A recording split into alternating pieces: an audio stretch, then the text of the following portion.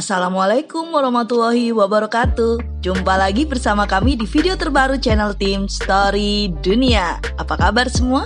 Semoga selalu dalam keadaan baik dan bahagia Amin Baiklah, seperti biasa pertama kami akan menyinggung video yang lalu di mana kami kemarin telah membahas peristiwa jauhar atau ritual bakar diri yang dilakukan Ratu Fatmawati untuk menjaga kehormatan wanita.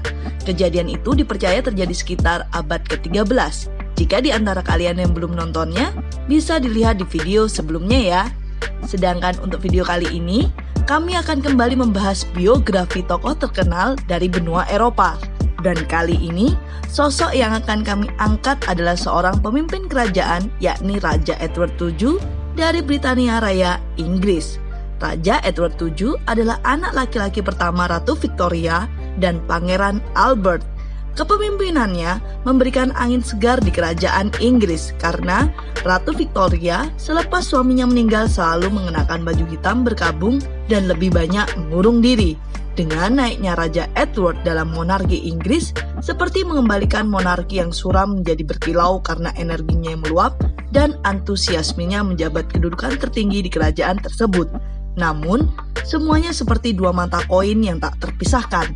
Raja Edward VII juga memiliki sisi kelam yakni dirinya terkenal sebagai playboy. Menurut beberapa sumber mengatakan bahwa Raja Edward memiliki 411 selir. Penasaran dengan kisahnya? Tanpa berlama-lama, langsung saja yuk disimak cerita lengkapnya. Namun seperti biasa, bagi penikmat baru channel kami untuk like, subscribe, dan aktifkan lonceng notifikasi agar selalu mendapatkan informasi terbaru dari channel kami.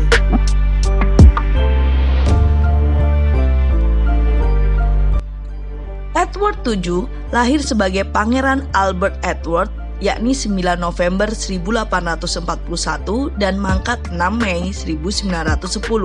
Memerintah sebagai Raja Inggris dan Kaisar India sebagai penerus ibunya Ratu Victoria. Karena pemerintahan panjang ibunya, ia menghabiskan sebagian besar hidupnya hanya melakukan tugas-tugas seremonial dan menjalani kehidupan yang santai. Sebagai raja, Edward memimpin era perubahan dan kemajuan besar sambil berusaha menyeimbangkan tradisi dan modernitas. Bakatnya dalam diplomasi dan pandangan semi progresif memungkinkan eranya menjadi salah satu ketenangan internasional dan beberapa reformasi domestik.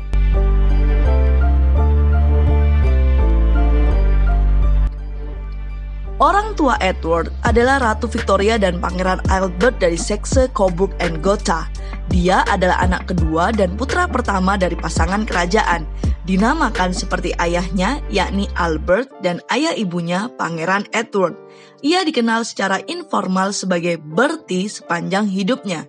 Sebagai putra tertua penguasa Britania, Edward secara otomatis menjadi Adipati Cornwall dan Adipati Rothesay, serta menerima gelar kerajaan Pangeran Saxe-Coburg and Gotha dan Adipati Saxony dari ayahnya.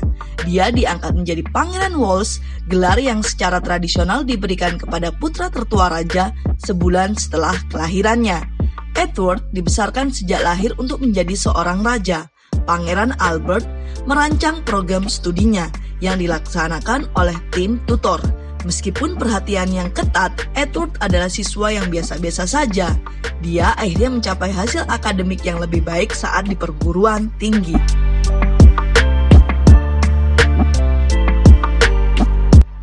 Sejak usia dini, pengamat mencatat Edward sering memberi hadiah untuk orang-orang yang menawan. Saat ia tumbuh dewasa, bakat itu terwujud dalam beberapa cara, terutama dalam reputasinya sebagai playboy. Hal yang teramat mengecewakan orang tuanya adalah ketika dirinya secara terbuka berselingkuh dengan seorang aktris selama waktunya di militer, dan ini nantinya akan terulang terus-menerus hingga dia tutup usia. Pada tahun 1861, Victoria dan Albert mengirim Edward ke luar negeri untuk mengatur pertemuan antara dia dan Putri Alexandra dari Denmark, di mana pertemuan tersebut diharapkan berujung pada pernikahan. Nyatanya, Edward dan Alexandra menjalin hubungan yang baik dan mereka menikah pada bulan Maret 1863. Anak pertama mereka, Albert Victor, lahir 10 bulan kemudian, diikuti oleh lima saudara kandungnya lagi, termasuk Raja George V yang merupakan putra tertuanya yang kedua. Di balik kepiawannya di dunia pemerintahan, siapa menyangka jika raja ini memiliki sisi lain kehidupan yang kelam. Sejak tumbuh dewasa, Edward dikenal sebagai playboy. Dia secara terbuka mengaku berselingkuh dengan seorang aktris selama waktunya di militer. Dan ini bukan kasus pertama. Selirnya termasuk aktris, penyanyi, dan bangsawan terkenal termasuk ibu dari Winston Churchill, Perdana Menteri Inggris. Bahkan, menurut sumber mengatakan bahwa gundik dari Raja Edward VII mencapai 411 orang dan dikatakan bahwa sang raja telah tidur bersama setidaknya ribuan orang yang berbeda selama hidupnya.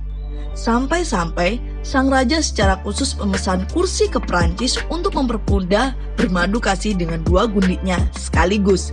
Sebagian besar dari para nyonya kerajaan itu diketahui Alexandra, tetapi dia menutup mata atas kelakuan suaminya. Sementara Edward mencoba untuk bersikap relatif bijaksana dan tertutup. Sementara salah satu wanita simpanan Edward VII, Alice Keppel, disukai oleh Ratu Alexandra. Ratu Alexandra lebih menyukai sifatnya yang bijaksana dibandingkan dengan beberapa gundi Edward VII sebelumnya. Alice bertemu Edward pada tahun 1898 ketika dia berusia 29 tahun dan Edward berusia 56 tahun.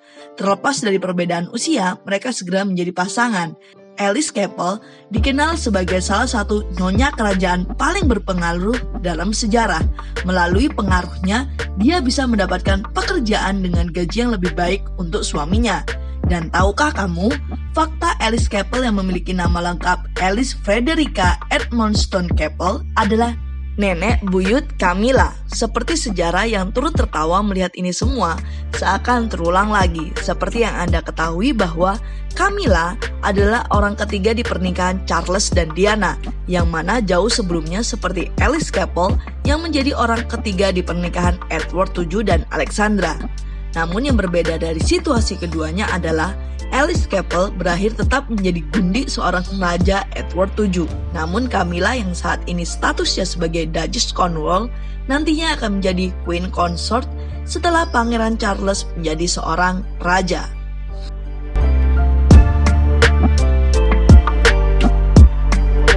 Edward memilih nama tengahnya sebagai nama resminya, meskipun secara informal masih dikenal sebagai Bertie untuk menghormati mendiang ayahnya Pangeran Albert. Sebagai raja, ia tetap menjadi pelindung seni yang hebat dan bekerja untuk memulihkan beberapa upacara tradisional yang telah hilang selama pemerintahan ibunya.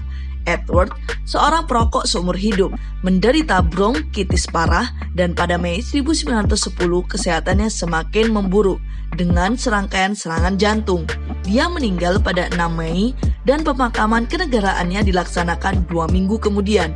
Acara pemakaman Raja Edward VII mungkin merupakan pertemuan bangsawan terbesar yang pernah ada. Meskipun masa pemerintahannya singkat, namun kepemimpinannya tetap diakui menjadi angin segar di kerajaan Inggris selepas peninggalan Ratu Victoria. Baiklah, itu adalah fakta menarik dari seorang Raja Edward VII. Di balik karismatiknya, dirinya tak luput juga memiliki sisi kelam tersendiri. Baiklah, semoga video kami selalu dapat menjadikan hiburan yang syarat informatif. Nantikan video terbaru lainnya di channel Tim Story Dunia.